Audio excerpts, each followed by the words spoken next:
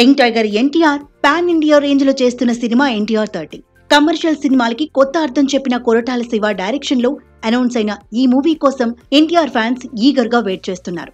ఎప్పుడో సెట్స్ పైకి వెళ్ళిపోయి ఈ పాటికి ఫస్ట్ లుక్ కూడా బయటికి రావాల్సిన ఈ సినిమా ప్రీవర్స్ డిలే అవుతూ ఉండటంతో ప్రాజెక్ట్స్ సెట్స్ పైకి వెళ్ళడానికి టైం పడుతుంది. అనౌన్స్మెంట్ పోస్టర్తోనే ఎన్టీఆర్ థర్టీ ఏ రేంజ్లో ఉండబోతుందో చెప్తూ ఒక డైలాగ్ని వదిలారు. ప్యూరీ ఆఫ్ ఎన్టీఆర్ అంటూ బయటకు వచ్చిన మోషన్ పోస్టర్లో అప్పుడప్పుడు ధైర్యానికి కూడా తెలియదు. అవసరానికి మించి తను ఉండకూడదు అని అప్పుడు భయానికి తెలియాలి తను రావాల్సిన సమయం వచ్చింది అని వస్తున్నా అంటూ హై నోట్లో డైలాగ్ ఎండ్ అయింది ఈ ఒక్క డైలాగ్ ఎన్టీఆర్ థర్టీ సినిమాపై అంచనాలను ఆకాశాన్ని తాకేలా చేసింది.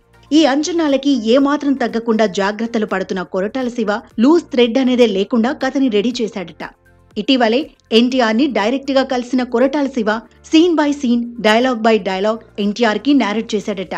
ఇన్ని రోజులు ఎన్టీఆర్ థర్టీ సినిమా సెట్స్ పైకి వెళ్ళకపోవడానికి కారణం ఇలాంటి బౌండ్ స్క్రిప్ట్ లేకపోవడమే.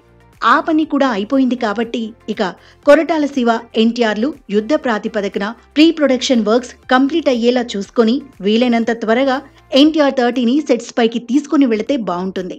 అన్నీ అనుకున్నట్లు జరిగితే దసరాకి ఎన్టీఆర్ థర్టీ పూజా కార్యక్రమాలు జరుపుకొని నవంబర్ నుంచి రెగ్యులర్ షూటింగ్కి వెళ్ళే అవకాశం ఉంది. Mostly NTR thirty first look కానీ వేరే ఏదైనా సర్ప్రైజ్ ఎలిమెంట్ కానీ కొరటాల అండ్ తారక్ నుంచి గిఫ్ట్గా రావచ్చు.